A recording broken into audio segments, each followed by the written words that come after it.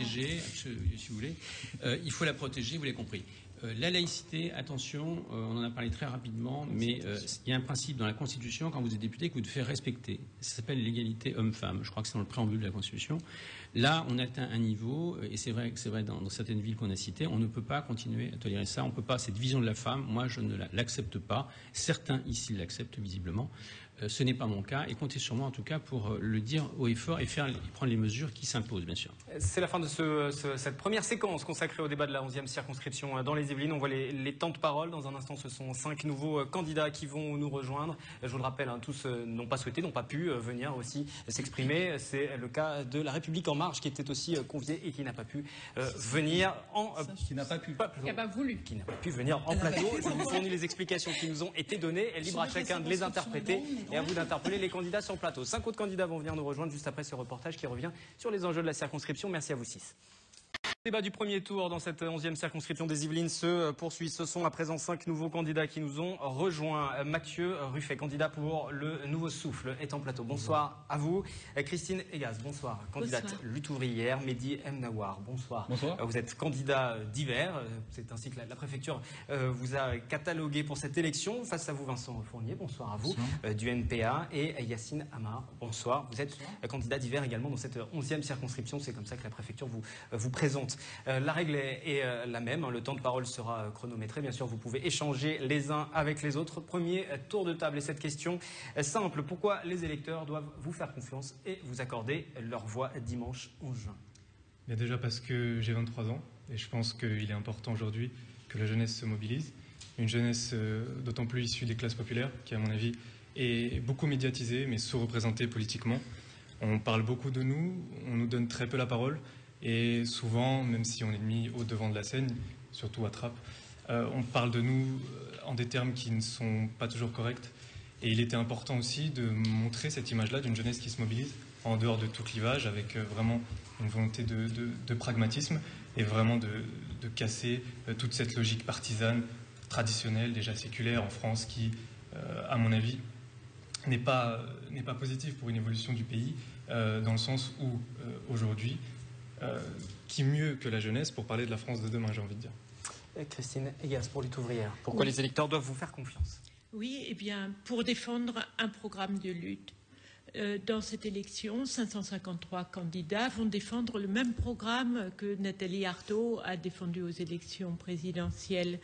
Un, problème, un programme euh, préconisant la défense du camp des travailleurs.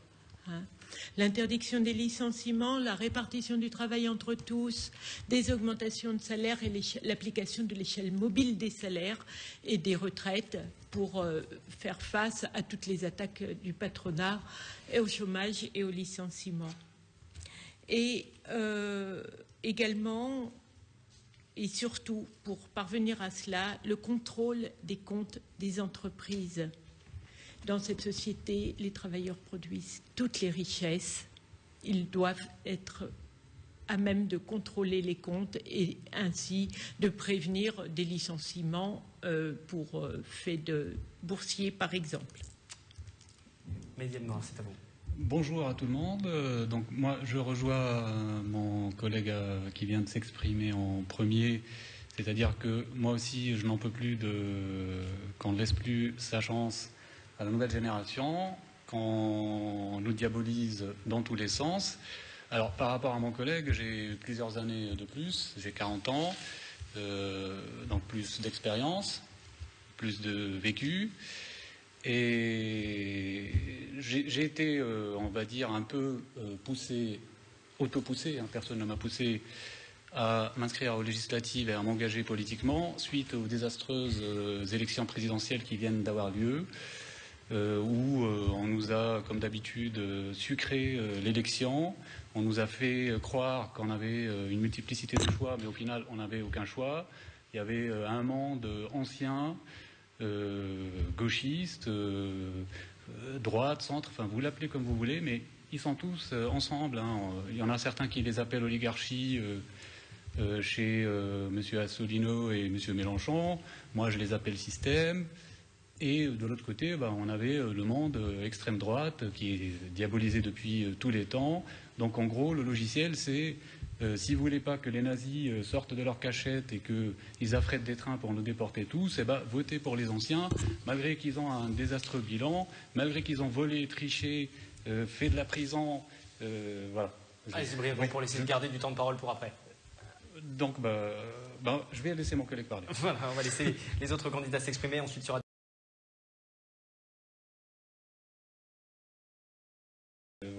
Allez-y brièvement pour laisser garder du temps de parole pour après. Donc, bah, bah, je vais laisser mon collègue parler. Voilà, on va laisser les autres candidats s'exprimer. Ensuite, il y aura différentes thématiques où chacun pourra bien évidemment à nouveau prendre la parole au cours de cette demi-heure d'émission qui va, qui va suivre sur cette onzième circonscription. Vincent Fournier, c'est à vous. Donc, candidat NPA, pourquoi les électeurs doivent vous accorder leur suffrage? Écoutez, comme l'a dit euh, Philippe Poutou lors du grand débat des élections présidentielles, euh, les candidats du NPA vivent euh, le même quotidien que des millions de travailleurs.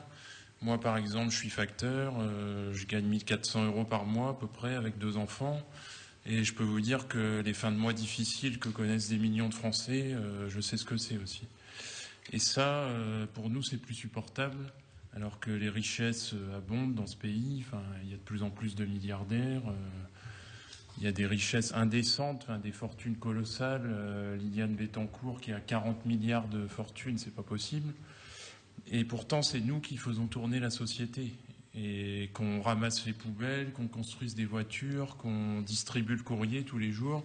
Il n'y a rien qui tourne sans nous. Et c'est ce qu'on a envie de dire dans ces élections. Et euh, donc, en fait, il faut prendre conscience pour nous qu'on a le pouvoir, les travailleurs, qu'on peut faire tomber le système capitaliste en s'organisant, en se rassemblant. Et bien sûr, on n'évitera pas une, une, grève générale, nécessaire pour euh, contraindre le, grand patronat. Mais il faudra pour nous aller plus loin qu'un mai 68 ou un juin 36 et prendre le pouvoir pour exercer euh, sur la société un, réel contrôle de la classe ouvrière. Yassine Amar, c'est à vous. Vous êtes candidat de l'UPR, je ne l'ai pas précisé, hein, pour la formation politique que vous défendez. Donc trois raisons. La première, c'est voter pour une personne. J'ai grandi dans les Yvelines, je fais partie du conseil de mon quartier et je suis soucieux des préoccupations de mes concitoyens. Je reflète la mixité culturelle et ethnique de ma circonscription. Et n'étant pas étant issu de la société civile, je ne suis pas un politicien ou un financier. Je suis à même de représenter les intérêts de tous les Français. Deuxièmement, voter pour des valeurs. À l'UPR, tous nos candidats ont un casier judiciaire vierge. Nous accordons une grande importance à la démocratie et nous souhaitons la reconnaissance pleine et entière du vote blanc, le référendum d'initiative populaire et le non-cumul des mandats. Nous avons une éthique en politique et nous faisons appel au beau sens des Français pour qu'ils se rassemblent au-dessus du clivage afin que nous retrouvions notre souveraineté nationale. Et troisièmement, voter pour des idées. Je souhaite donc faire renouer les citoyens avec la politique, donner une vraie représentativité aux dirigeants, redonner aux Français la fierté d'être Français. Première thématique que nous allons aborder à présent, comme lors de la première séquence, c'est la question de la, sécurité. J'aimerais vous entendre les, uns et les autres sur ce sujet. Les attentats se sont encore multipliés ces derniers jours. On peut penser euh, notamment à, Londres, où on a encore appris la disparition de, Français euh, encore euh, aujourd'hui. On va commencer avec vous pour, pour ce tour de table, Mathieu Ruffet. Pardon, pour nouveau souffle. Alors, c'est-à-dire que moi, j'avais envie d'axer déjà dans un premier temps ce thème de la sécurité au niveau donc, du lien entre la population et les forces de l'ordre. Il est vrai que, donc, euh, en tant que jeune, moi, j'ai pas envie d'avoir, de prendre le monopole de la jeunesse au prétexte que j'ai 23 ans, etc., que j'ai grandi à Trappes.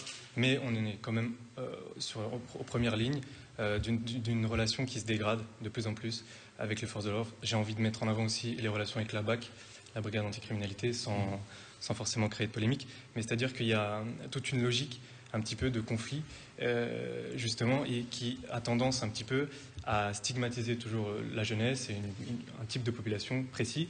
Et il y a une sorte, euh, j'allais dire, le non-droit, il se situe presque du côté des forces de l'ordre. C'est-à-dire que euh, on a du mal, nous, en tant que citoyens, jeunes citoyens, à se défendre contre la police. Certes, la police est là pour nous protéger, mais parfois, qui nous protège de la police, j'ai envie de dire? Il y a du contrôle au faciès, ça c'est malheureusement une réalité. on part du principe où, à mon avis, ce qui serait préférable, euh, il faudrait équiper les forces de l'ordre de mécanismes d'enregistrement audio et vidéo afin d'éviter toute, forme de bavure. Euh, je suis aussi favorable à une réorganisation de la police de proximité, dans le sens où aujourd'hui, la brigade anticriminalité a le monopole du terrain et qui, eux, donc, se focalisent principalement sur euh, donc, lutter contre le trafic de drogue, etc. Ils, ont une sorte de, ils ont une manière d'agir avec une distanciation avec la population, y compris les jeunes, il n'y a pas de dialogue et ça c'est extrêmement problématique. C'est-à-dire que de ce niveau-là, je pense qu'il faut vraiment réorganiser la police de proximité avec une autogestion de la misère sociale. Je pense qu'aujourd'hui, euh, la jeunesse euh, au niveau local peut prendre en main la sécurité des quartiers en, en coopération avec les forces de l'ordre, bien entendu, mais la brigade anticriminalité n'a plus, à mon avis, la légitimité suffisante pour pouvoir intervenir sur le terrain. Et juste un petit mot sur le terrorisme. Mhm. Je pense que les causes sont plus importantes que, euh, euh, c'est-à-dire, on s'attarde trop aux conséquences, on s'attarde au comment. on est plus dans, une, dans, un aspect de gestion, euh, de réaction plus que d'anticipation. Les causes sont avant tout sociales, économiques, et c'est la précarité, c'est le repli sur soi, le communautarisme, et l'État qui a trop souvent tendance à stigmatiser encore une fois un type de population et euh, qui crée et qui engendre un processus euh, de délitement du lien social. N'hésitez pas les uns et les autres à réagir si vous voulez, bien évidemment, interpeller les uns ou les autres des candidats pour euh, échanger sur, à propos de vos, idées. C'est à vous à présenter. Oui. Oui, c'est effectivement l'insécurité et liée à la crise sociale et politique, hein, et aussi à l'utilisation que font les États de guerre partout sur la planète. Hein. L'insécurité, elle est pour tout le monde du travail. Elle est, pour tous les travailleurs qui, euh, euh, au risque, au péril de leur vie, sont obligés de quitter leur pays hein, euh, pour cause de guerre ou pour cause de famine que les pays capitalistes ont engendré. Et ces gens-là, pour ces gens-là, l'insécurité est totale. Combien meurent en Méditerranée chaque jour? Et l'insécurité, elle est plus loin. Elle est euh, pour tous les travailleurs. Elle est dans la peur de perdre son boulot dès demain. Et la peur de perdre son boulot demain fait qu'on travaille aussi dans des conditions qui s'aggravent de plus en plus, partout. Moi, j'ai travaillé pendant très longtemps, de nombreuses années, dans un travail qui paraît sans risque, le travail de bureau dans des caisses de retraite. Eh bien, dans ces, les mêmes caisses, les conditions de travail se sont tellement aggravées que oui, il y a de l'insécurité au travail, on risque les maladies professionnelles, on risque la dépression, on risque ce qu'on appelle maintenant le burn-out. Hein. Et combien, là, il va y avoir le grand procès de l'amiante, nous dit-on, combien d'années après, combien il a fallu de, milliers de travailleurs qui meurent euh, après les mines de l'amiante, de tout. je, discutais encore cet après-midi avec un habitant de Trappes qui travaille dans les travaux publics et qui me dit on n'a pas, on n'a rien contre, euh, voilà, on se casse le dos, mais on, respire aussi des, fumées nauséabondes. Euh, il pleut, on creuse une tranchée, il y a l'électricité dedans, euh, on n'est pas protégé. Oui, c'est ça l'insécurité. Et ça, il n'y a rien. Personne dans, l'État ni nulle part ne le fait. et ce n'est pas la police qui nous en protège. C'est le moins qu'on puisse dire. Par contre, il protégeait bien les intérêts des capitalistes lorsqu'on a manifesté contre les lois de euh, travail. La question portait aussi sur la question de la sécurité autour du terrorisme. Pour revenir un petit peu aux bases, je, passe à vous, euh, Vincent euh, Fournier. J'imagine que vous partagez aussi une partie des idées qui ont été exposées, mais on revient sur cette thématique aussi de la sécurité. Effet, je partage les idées qui viennent d'être développées par ma camarade de lutte ouvrière pour nous, la sécurité, d'abord, elle, est, sociale. C'est le chômage, les fermetures d'usines ou les, expulsions locatives, par exemple. Mais sur euh, ce sujet du terrorisme, des guerres, etc., enfin, on constate aujourd'hui qu'il y a une, véritable déstabilisation euh, au Moyen-Orient, dans une partie de l'Afrique. Et ça, ça a été causé par les guerres des, impérialistes, des pays impérialistes, dont la France fait partie, bien évidemment. Et ça a causé des, dégâts considérables dans tous ces pays et créé en plus euh, des groupes que moi je qualifie de, fascistes clairement, euh, comme l'État islamique qui aujourd'hui commet des attentats dans le monde entier euh, toutes les semaines, voire tous les jours, parce que on parle beaucoup des attentats en Europe, mais quand il y a un attentat en Syrie ou en Irak, on en parle beaucoup moins, et pourtant il y en a peut-être encore plus. Et euh, ça, il ne faut pas oublier qu'aussi euh, ces attentats, ces guerres, elles sont faites euh, avec l'aide des industriels français. Parce que qui leur vend les armes en partie, c'est Dassault, c'est la Gardère. Donc le problème pour nous, il vient de là aussi. Voilà. Yacine Amar pour l'UPR, je vous ferai réagir juste après. Donc, sur la sécurité, je pense qu'il faut deux actions, une préventive et une curative. La préventive, c'est en rappelant toutes nos troupes qui sont sur des théâtres de guerre illégales. Nous sommes engagés au Moyen-Orient, qui nous avons détruit beaucoup de pays et nous avons nous-mêmes créé les terroristes qui aujourd'hui nous attaquent. Donc nous devons pour cela sortir de l'OTAN, qui nous rend suiveurs de cette politique guerrière et qui nuit à nos intérêts. Pour la partie curative, nous devons renforcer donc les moyens qui sont donnés à nos forces de police nous voyons que l'état d'urgence qui est euh, donc en place depuis le 14 novembre 2015 et qui a été renouvelé X fois euh, est inefficace, qu'il n'est pas appliqué. Il faut que les mesures que nous prenions euh, soient plus fermes, plus décisives et nous devons reprendre le, contrôle de ce qui se passe aux frontières en termes de transport de la circulation des personnes pour afin de, pouvoir mieux identifier les gens qui viendraient en France pour commettre des actes terroristes on peut remarquer que maintenant nous n'avons plus un ministère de la Défense, nous avons un ministère des Armées, donc ce qui laisse euh, envisager euh, des suites encore pires par rapport à nos activités à l'étranger. Donc le, problème du terrorisme, je ne pense qu'il ne va pas se régler de, de sitôt.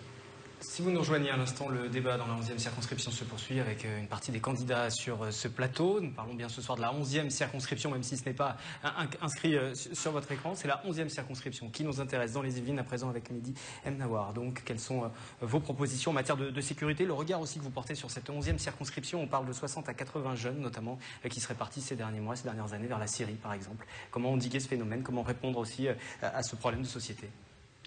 Alors, moi, je vais vous répondre euh, sur la sécurité et sur les attentats. Après, vous me posez des questions supplémentaires. Moi, franchement, euh, ça ne m'intéresse pas. Ah, ce qui m'intéresse. vos réponses, moi, je pose les questions. C'est comme vous le souhaitez. Très, très bien.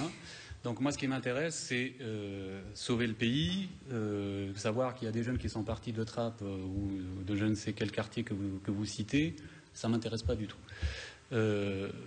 moi, ce que... Ça n'enlève pas un problème de société, d'organisation, de justement, moi, mon problème, justement, mon problème, c'est que on nous a enlevé le débat sur le sociétal et sur la société. Et si la société française, je veux dire, on peut se rejoindre tous là-dessus à des différents euh, niveaux, elle est profondément malade. Il va falloir commencer par soigner la société française. Et puis après, vous verrez que tout s'enchaînera, le boulot, l'emploi, quand les gens sont mieux éduqués, euh, mieux informés, euh, bah, ils auront moins envie de faire des bêtises, de la délinquance, euh, vous parlez de la police, ou euh, d'aller sur des théâtres de guerre, ou de, devenir sympathisants pour manifester une opposition à, cette société qui n'accepte pas, ou à ce système qui est devenu très violent. Hein. C'est pas juste là l'islam, les musulmans, les islamites. Hein. Vous voyez, madame, elle n'est pas musulmane, elle, voit, elle dénonce ce capitalisme. Elle n'est pas. Je suis athée, hein. je suis rien du tout. Parfaitement. Donc, elle peut, euh, vous pouvez avoir un musulman à sa place qui va parler avec la même verbe, mais qui ne s'opposera pas avec les idées, parce qu'on n'est pas tous égaux au niveau de, notre euh, tolérance ou de notre fragilité, et qui ira manifester son opposition d'une autre manière. Donc, le problème fondamental, c'est d'abord les médias.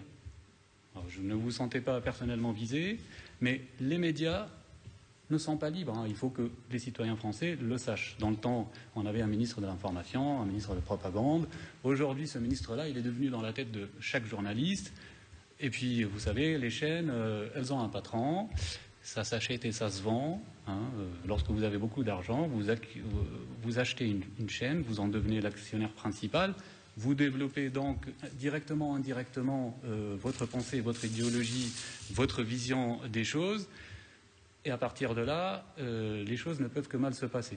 Les informations que nous avons en boucle sur les chaînes, les journaux, les radios, sur toute source d'informations. Ne criez pas au complot, je vais vous demander d'être un petit peu plus synthétique parce que euh, le temps passe et vous n'aurez plus de temps après pour, euh, pour vous exprimer. Voilà. Et je rappelle tout de même que vous pouvez vous exprimer librement sur ce plateau. Merci beaucoup.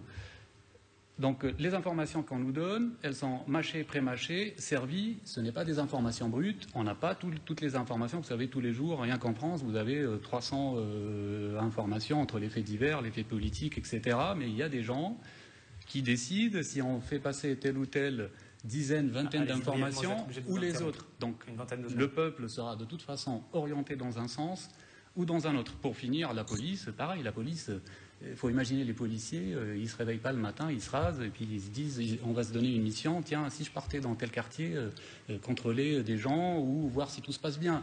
Ils sont aux ordres.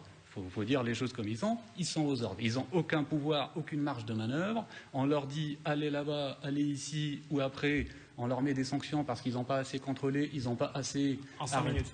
En 5 secondes, pardon, vous êtes à 5 minutes de temps de parole. En 5 secondes, bah, je pense que euh, je vais m'arrêter là. Allez. Voilà, pour pouvoir réagir ensuite après, l'écart se creuse. Sinon, entre vous, je vous ai vu acquiescer certaines des choses qui avaient été dites. Sûr, hein. Bien sûr, principalement au niveau médiatique, c'est-à-dire que souvent, quand on parle de terrorisme, on va parler de religion, on va parler d'islam. Franchement, je pense que le, problème est beaucoup plus complexe que cela. Le réduire au simple, à la simple question religieuse, ça n'a aucun sens. Il faut réfléchir aux, problèmes de fond. C'est un long processus. Il y a des causes sociologiques. Je pense qu'avant tout, il y, a des il y a des facteurs de désintégration sociale euh, les, obstacles culturels ne sont pas des problèmes, mais les, délitements sociaux et les inégalités sociales et les injustices sociales et historiques sont des vrais problèmes qui sont euh, assimilés, incorporés par, une frange de la population qui est marginalisée et qui entre en réaction euh, comment dire, envers un État qui, vis-à-vis -vis desquels ils vont tenir responsables euh, de leur situation actuelle. Il y a tout un cheminement à, effectuer et il ne faut pas prendre les, euh, choses comme telles. La vraie vie, enfin, j'ai envie de dire, la, la vraie vie, c'est pas la vie de BFM TV. C'est-à-dire que c'est beaucoup plus complexe que cela. Ce n'est pas une question de religieuse, c'est beaucoup plus complexe que ça.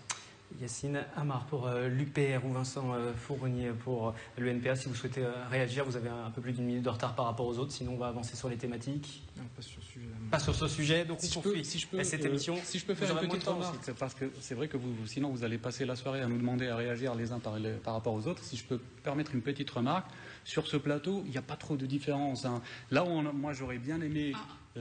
réagir, c'est le plateau précédent que j'ai vu en coulisses. Il y avait plein de choses qui m'ont fait bondir. Ici, Bon, franchement, j'ai pas envie d'arrêter les collègues quand ils développent leurs pensées, mais le tableau précédent, oui, là, j'avais envie de bondir. Malheureusement, vous nous avez séparés en deux plateaux. Euh, voilà, faut faire maintenant avec ce qu'on a. Je redonne la règle hein, qui a été donnée pour l'ensemble des candidats. Bien évidemment, vous le voyez, hein, vous-même sur ce plateau, en étant présent, on ne peut pas accueillir plus de six personnes simultanément et il faut respecter l'équité. L'équité, c'est la recommandation du CSA et vous le savez. Si vous... Je vais vous passer la parole si je peux juste euh, terminer de m'adresser aux téléspectateurs. Euh, vous le savez, la règle hein, qui est fixée et qui est dictée par le, CSA, c'est celle de l'équité. Nous allons au-delà puisque nous basons sur l'égalité et nous allons même au-delà de l'équité. Quasiment toutes les formations ont eu le même temps de parole euh, sur les différentes circonscriptions que, que nous couvrons. Je vous laisse réagir et après on avance, sinon l'émission va se terminer. et vous n'aurez pas pu vous exprimer. Je rappelle aussi que vous avez une carte blanche après pour choisir le sujet que vous voulez mettre en avant. Juste sur ce qu'a dit monsieur, euh, il n'y a pas trop de différence dans le constat. Euh, ça, ça, reste à voir, mais en tout cas, moi. Euh, j'ai cru comprendre que vous avez voté Front National au premier tour et c'est pas du tout ce qu'on défend. Nous, on cherche pas, on cherche pas à diviser les travailleurs, mais à les rassembler. Donc, pour moi, il y a une énorme différence entre nous. C'est, je, suis obligé de répondre. Ah bah allez-y en deux mots, oui. C'est très léger comme argument. Hein. Si c'est euh, une différence entre travailleurs, travailleurs que, vous dites que moi ou le Front National ne, défend pas, c'est super léger comme argument. Il aurait fallu. Tout le monde sait ce que c'est. Non, mais ce que vous venez de dire, c'est-à-dire que vous, vous défendez les travailleurs et donc moi ou le Front National, nous ne le défendons pas. Euh, pour être tout à fait honnête, vous aurez dû dire pourquoi j'ai appelé à voter Front National. Je ne fais pas partie du Front National, je ne suis pas le candidat du Front National. Il y a une vidéo qui est sur. Je suis, je suis moi-même donc blogueur, euh, tout le monde peut me trouver un peu partout. Mon site c'est medimnawar.com. Et j'ai fait une vidéo la veille du premier tour explicative sur le pourquoi j'ai fait le choix de voter Front National. Expliquez-nous pourquoi. Faites-le pour le plateau pour, ceux qui, n'ont pas vu la vidéo ou alors je vous interromps. C'est long parce que euh, Monsieur Mélenchon, par exemple, téléspectateurs à, suivre, à, suivre, cette vidéo, vous avez publié sur Internet, ce sera le mieux. Euh, C'était la veille, la veille du premier tour. J'ai été censuré pendant 15 jours de, Facebook à plusieurs reprises pour m'éviter justement de, de, donner une consigne de vote.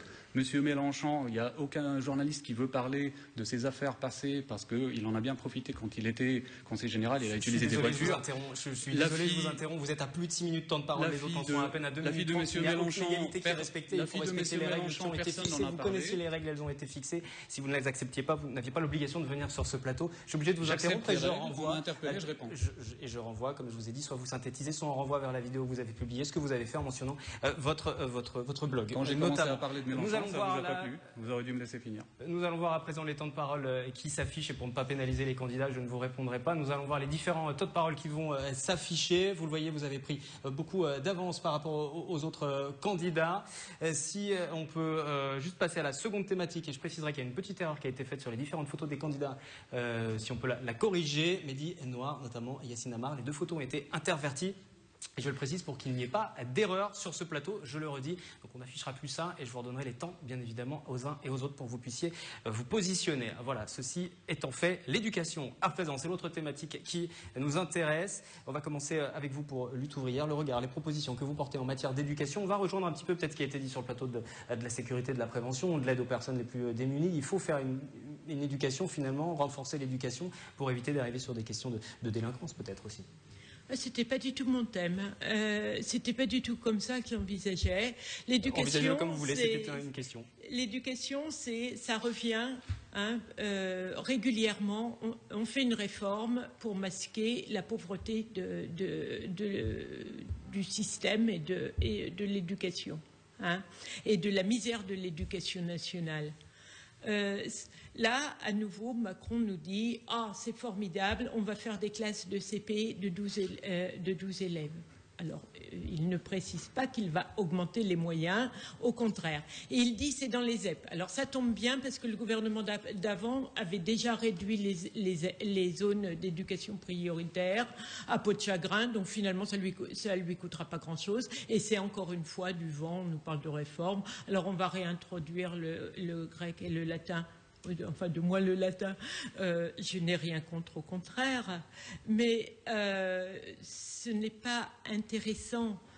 Quand donnera-t-on à l'éducation nationale et pour l'éducation des jeunes dans son ensemble et à tous les niveaux, pas seulement pour euh, les classes des bons quartiers, mais pour toutes les écoles, qu'elles soient primaires, qu'elles soient secondaires ou aux universités, et voire même la formation professionnelle après tout au long de la vie, et la culture, les moyens nécessaires que l'on peut prendre quand même en économisant sérieusement sur les cadeaux qu'on fait aux entreprises.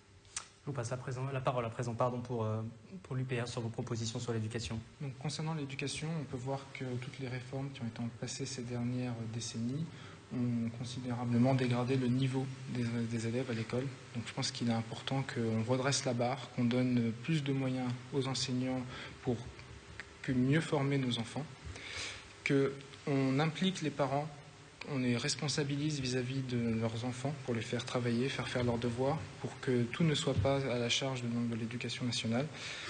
Il faut donc leur redonner le goût à l'effort et à la persévérance. Je pense que c'est une des choses les plus importantes qui s'est perdue de- depuis ces dernières décennies. Il faut qu'une neutralité euh, dans, dans- les cours, dans, dans- l'enseignement qui est fait donc, euh, à l'école, en termes surtout d'éducation civique et d'histoire-géographie. Favoriser la mixité sociale en arrêtant de faire ces écoles d'élite où tout le monde se rassemble avec euh, donc une sélection et puis des, écoles plus on va dire poubelles ou qui engendrent du coup des, écarts de niveau considérables. C'est pas quelque chose qui sont dans les valeurs de notre République, je pense. Donc il faut euh, améliorer cet écart, il faut le réduire. Il faut assurer aussi la paix dans nos établissements. On a vu dans l'actualité beaucoup d'événements qui sont quand même euh, très inquiétants en termes de sécurité dans les écoles, entre les élèves, mais aussi entre élèves et enseignants, faisant souvent aussi, euh, on montrait que des, personnes de l'extérieur aux établissements rentraient dans les écoles pour faire, euh, pour régler des comptes. Donc il faut vraiment renforcer les moyens pour que ces choses-là n'arrivent plus. On passe à vous, Vincent Fournier, du côté du NPA, concernant l'éducation, peut-être en revenant aussi sur ce- cette circonscription et peut-être les difficultés qui y sont rencontrées. Écoutez, sur euh, l'éducation nationale, pour nous, le problème, il est le même que dans tous les services publics, que ce soit à la Poste, à la SNCF, à EDF, on supprime depuis des années des, dizaines de milliers d'emplois. Donc après, il n'y a pas de surprise, euh, les moyens ne sont pas là, donc ça se dégrade. Euh, J'entendais tout à l'heure sur le premier plateau une espèce de faux débat entre le, la semaine de 4 jours, la semaine de 5 jours. pour nous, le sujet, il n'est pas là. Le sujet, il est qu'on supprime des emplois, qu'on ferme des classes, ça, se multiplie, hein, les fermetures de classes en primaire notamment. D'ailleurs, il y a des luttes régulièrement, il y a beaucoup de parents d'élèves qui s'en préoccupent et qui vont parfois jusqu'à occuper des classes pour garder l'ouverture de certaines classes. Et euh, voilà, donc évidemment, il faut créer des emplois, il faut recréer les emplois qu'on a supprimés, et il faut même en créer de nouveaux. Puisque pour nous, des classes, euh, enfin moi j'ai l'exemple, ma fille elle va rentrer en maternelle, on m'a dit il y a 28 élèves dans sa classe. Pour nous, ça c'est pas possible. Euh, il, faut, il faut démultiplier les classes et donc donner les moyens et, recruter des, des enseignants et des assistants, par exemple, dans les maternelles en nombre. Mathieu Ruffet. Alors oui, c'est une question de moyens, bien entendu, mais euh, je pense que c'est un peu plus, encore une fois, il faut approfondir. C'est-à-dire que c'est aussi une question euh, d'engagement, d'état d'esprit un petit peu euh, des pouvoirs publics aujourd'hui, d'essayer de briser les mécanismes de reproduction sociale. On, va pas on peut réactualiser les thèses de Bourdieu, etc. voilà. je pense qu'aujourd'hui, il y a quand même une, frange de la population qui est donc issue de la catégorie dominante ou des classes dominantes, qui eux ont plus de chances de réussir. Et ça, c'est quelque chose vraiment qu'il faut essayer non pas euh, d'éradiquer, mais d'endiguer dans le sens où il faut euh, donner la chance à tout le monde, il faut accorder une équité, y compris pour la jeunesse des classes populaires. Donc, euh, je pense qu'il faut valoriser dès le plus jeune âge le talent de chacun. Il ne faut pas préparer une société de salariat. Ceci, il faut essayer de dépasser un petit peu cette logique de préparer de futurs, salariés, de dépasser un petit peu toute cette logique de se dire que oui, je vais me trouver un, poste, une entreprise, etc. Il faut vraiment essayer de révéler euh, les talents, essayer de mettre euh, en avant le, potentiel de chacun. Et je pense qu'il faut faire confiance aussi aux professeurs. Les, professeurs souvent sont là par vocation et ils sont capables d'amener euh, les jeunes vers, vers la réussite et de les considérer au travers de leur potentiel et pas uniquement d'un degré d'employabilité. plein de bacheliers, c'est bien, mais après, voilà, ça sert à quoi dans le fond? Je pense qu'il est nécessaire vraiment de donner la chance à chacun de pouvoir exprimer son talent, un petit peu en dehors donc, euh, du carcan, du salariat, etc. Peut-être euh, de donner plus la chance à des futurs entrepreneurs. Moi, je suis aussi favorable euh, dès le collège à l'apprentissage des sciences sociales. Je pense que la sociologie aujourd'hui a son mot à dire et je pense aussi que pour les jeunes issus des classes populaires, il est important, au travers donc de l'apport de la sociologie, de prendre conscience de leur propre situation, de relativiser et d'essayer d'être armé face à une société qui est souvent injuste, souvent inégale, et d'autant plus quand on vient des, classes populaires. Ce sera l'heure après de votre carte blanche aux uns et aux autres. Tout d'abord, Mehdi Nawar, sur cette question d'éducation. Je vais vous demander d'être concis puisque vous aviez de l'avance. D'accord. Bon. Sur l'éducation nationale, euh, pareil, là, il y a beaucoup de mensonges, beaucoup de manipulations. Euh, là, on peut débattre éternellement euh, de pourquoi ça ne marche pas à l'école, pourquoi on est mal classé aux classements internationaux. Les solutions, je vois bien qu'en face, monsieur du nouveau parti anticapitaliste, l'extrême gauche ou madame de l'extrême gauche, tous ces partis, ça a été perméable au travers du temps. ils ont des représentants qui ont gouverné. Ah non. madame. Je suis désolée. Non, non. Non, non, je suis communiste. Alors, quelques communistes sont allés, mais ils étaient du Parti communiste. C'est ce que je viens de dire. ils n'étaient pas, trotskistes, même. Vous voyez Vous savez, ça parle à personne de parler de trotskisme, etc. Vous avez des communistes euh, qui ont été ce que personne, mais savoir que je suis communiste peut intéresser effectivement. Là, vous me prenez sur mon temps de parole, mais on dit, moi, je disais pas le contraire de vous. J'ai dit que l'extrême gauche a, d'une manière ou d'une autre, s'est retrouvée un jour au gouvernement. Jamais. Bien sûr. Je vous interromps et je mets fin à cette discussion Madame sur ce plateau. a été au gouvernement, donc je ne sais pas où vous la. Madame non, mais vous. Loin de si, si, je peux, si je peux juste euh, répondre à ce qui a été dit, je rappelle que les candidats qui sont face à vous représentent le NPA et euh, Lutte ouvrière, qui ne représentent pas le Parti communiste. Ce sont des, franges des différentes formations euh, politiques. donc voilà, ils vous ont répondu. Vous avez également répondu. Je vais vous demander en 30 secondes, parce que je vous l'ai dit, vous avez beaucoup d'avance sur le temps de parole, de parler de vos propositions en matière d'éducation, de regard que vous portez aussi sur ce qui est proposé dans un premier temps par Emmanuel Macron, parce que si vous êtes élu, vous allez siéger à l'Assemblée et vous devrez voter des lois. Donc, euh, parce que j'ai été interpellé euh, tout à l'heure, je reviens. Moi, je combats cette extrême gauche, cette gauche, et après, par extension, on a vu avec Macron que tout est perméable, centre-droite, républicaine, qui s'appelle républicaine, les républicains se rejoignent sur tous les thèmes. Dans l'autre monde, il y avait le Front National et puis tous les rebelles qui se sont agglutinés autour. Moi, euh, je suis contre cette gauche-là. Et cette extrême gauche. Ils ont gouverné. Madame Taubira et leurs idées, ils ont été largement euh, présents, surtout dans l'éducation nationale, qui est un désastre. Qui est un désastre. Donc l'éducation nationale, si c'est un désastre, c'est pas parce qu'il euh, y a beaucoup d'élèves par classe, c'est pas comme préconise monsieur, comme ils ont toujours préconisé qu'il faut embaucher en masse pour réduire le nombre d'élèves, tout ça c'est des bêtises. Vous avez en Afrique des classes où ils sont 35, qui sont des fois 40, vous prenez n'importe lequel quand ils arrivent en France. Ils, maîtrisent mieux les mathématiques que n'importe quel euh, Français du même âge. Ils sont au minimum trilingues, alors que la majorité, madame vient de parler du latin, mais c'est vrai, la majorité des Français ne connaissent, vous terminer votre phrase, vous ne terminez pas. Je suis désolé, je suis obligé de vous interrompre. Vous êtes à une minute de temps de parole, les autres à 4 minutes, c'est pas possible. de parler. Bah, finissez votre phrase, mais vous n'interviendrez pas sur la carte blanche. Donc, même sur le, français, que euh, les, Français ne maîtrisent pas leur langue totalement. Ceci est, une, catastrophe. Ça ne vient pas du nombre d'élèves par classe, comme je viens de vous dire. la proposition, c'est arrêter euh, cette hypocrisie, ça ne vient l'éducation nationale c'est à peu près moi je vous dis c'est comme à l'époque les militaires euh, quand on avait en Algérie qui faisaient, on avait les militaires français qui faisaient l'éducation en Algérie. carte blanche des uns et des autres carte blanche auxquelles vous ne pourrez pas participer je vous l'ai dit vous avez trop de temps de parole. Euh, par rapport Il faut casser le cartel de l'éducation nationale voilà je crois que le message a été entendu. Nous passons maintenant donc à, vos cartes blanches aux uns et aux autres. On va commencer avec vous pour pour l'UPR vous êtes le plus en retard. Vous avez plus d'une minute si vous souhaitez développer un sujet. Quel sujet souhaitez-vous mettre en avant lorsque vous euh, lorsque vous serez élu? Voilà tout simplement si vous êtes élu Alors moi, le sujet qui m'intéresse, c'est l'industrie. Donc, euh, car je suis ingénieur et chef d'entreprise. Je pense aussi que dans notre circonscription, on a beaucoup de grandes entreprises et de plus petites, c'est un bassin. Donc on peut voir que nous avons inventé euh, le Concorde, le TGV, le GSM, on a fait le Minitel, le précurseur de Internet, et on peut voir que bah, depuis, euh, depuis ces temps-là, rien ne sort. Rien, la France ne brille plus comme elle brillait avant.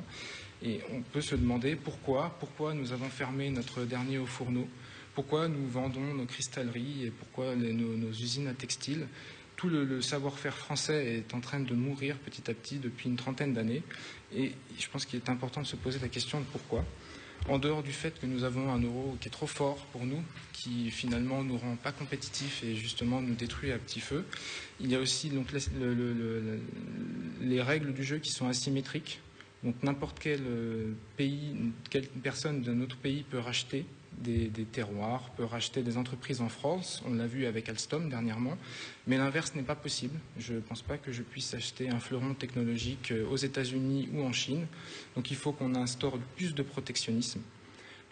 Pour protéger justement nos industries et nos travailleurs, les gens qui travaillent donc et qui travaillent dans ces entreprises, et euh, on peut voir que les lois aujourd'hui qui sont imposées par l'Union européenne nous empêchent de faire ceci, puisqu'il y a la libre circulation des capitaux, des marchandises et des personnes. Donc aujourd'hui, comme il n'y a pas d'harmonisation fiscale ni sociale, c'est simple. les grandes entreprises, qu'est-ce qu'elles font? Elles ouvrent leurs usines en Europe de l'Est ou ailleurs, encore plus loin. Elles ont leur, siège au Luxembourg ou en Irlande et elles payent du coup 2% d'impôts. Et on voit que ben, ça, détruit le tissu. les, usines, on en a une qui ferme par jour. On a 1000 personnes qui passent en dessous du seuil de pauvreté, à peu près par jour. Plus le nombre de toutes les 14 000 suicides par an qu'on va retrouver en France. On voit que les traités dans lesquels nous sommes, euh, nous, nous sommes rentrés contre l'avis des Français en 2005, qui ont voté non au référendum, nous nuisent profondément à notre économie et instaurent de plus en plus de chômage. Et on voit que depuis, la courbe ne cesse de monter, monter et elle n'a pas fini de monter. Vincent Fournier, votre carte blanche moi, je voulais aborder un sujet qui est assez peu abordé, euh, à mon avis, euh, dans les médias au vu de la, gravité de la situation. C'est la politique euh, criminelle en ce moment en Tchétchénie contre, de répression contre la communauté homosexuelle. Parce qu'il faut savoir quand même. Donc tu vois, ça c'est le cinéma habituel, ça. Excusez-moi, je, vais juste vous, je vais juste vous demander de laisser à la carte blanche ah bah, les autres. Allez-y, poursuivez, poursuivez. vous, avez beaucoup trop parlé. Vincent Fournier, c'est vous en avez la preuve de Excusez-moi, vous en avez, vous avez beaucoup trop parlé. Excusez-moi, excusez-moi. Il y a des réfugiés qui sont arrivés en France. Juste. Vous n'en avez aucune preuve. C'est juste. Vous, vous répétez du blablabla. S'il vous plaît, je vais vous demander de vous interrompre ou je vais vous demander de quitter le plateau si vous ne laissez pas parler les autres candidats. Vous pouvez me demander ce que vous voulez. Quittez le plateau. Alors, si vous ne voulez pas laisser parler les autres candidats, excusez-moi, je vous demande de quitter le plateau tout simplement. Voilà. Moi, Soit vous laissez parler les autres candidats. Je vais vous demander de quitter le plateau Si si vous vous ne avez laissez pas parler. Là, c'est ce la vous dernière fois que je vous le Vous demande. pouvez me demander. Vincent vous Fournier, Si vous avez vous. un problème avec les combats Vincent Fournier, contre s'il vous plaît, l'homosexu- allez-y. l'homosexualité ou le féminisme, vous pouvez Vincent. Fournier, s'il vous plaît, je vous laisse Oui, faire votre carte blanche. Allez-y. C'est le sujet. J'ai des problèmes avec vos mensonges. Oui, bien sûr. Donc il n'y a aucune, euh, aucun euh, problème Vous en en avez pas la contre Vous l'homosexualité. Vous répétez des pas de bêtises. souci. Médium Oui, noir, s'il vous plaît, je vous demande de quitter le plateau. La théorie du complot. euh, Allez-y. Euh, donc, il y a euh, une, véritable politique de répression. Il y a y compris des, des Tchétchènes qui sont arrivés en France dernièrement. Et il faut qu'il y ait un effort là-dessus du gouvernement français pour aider, bien sûr, à, à ce qu'ils viennent plus facilement et ce qu'ils aient un visa plus rapidement. Et c'est- enfin, quand même une gravité. euh, c'est des camps de véritables de camps de concentration, même si c'est certainement une, Non, là, c'est énorme. Je peux pas laisser dire des Excusez-moi, excusez-moi, c'est c'est juste, c'est juste pas possible. S'il vous plaît, je vous demande à tous. Alors, soit vous interrompez, soit nous rendons l'antenne et le débat va s'interrompre et ce sera inégal pour l'ensemble des candidats. Très bien. Eh bien, écoutez, je vous remercie d'avoir suivi ce débat. Pour les téléspectateurs, visiblement que vous ne respectez pas, nous.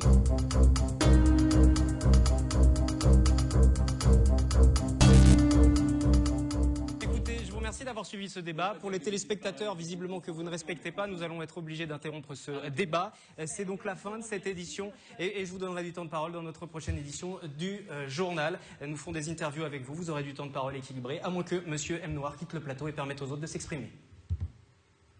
Vous ne souhaitez pas quitter Au le plateau minimum, c'était. Je laisse pas dire de bêtises. Au pareilles, c'est minimum, c'était. Est-ce que vous pouvez laisser les autres parler C'est comme les autres bêtises euh, sur le, le, le salaire, bien. salaire Je qui sont pas du temps de égaux.